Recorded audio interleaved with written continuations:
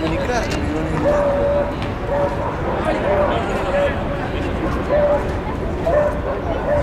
¿Te esa estación de trenes? Entonces, ¿qué hacemos? ¿Nos vamos al carajo? Sí. Sí. Listo, este ya está.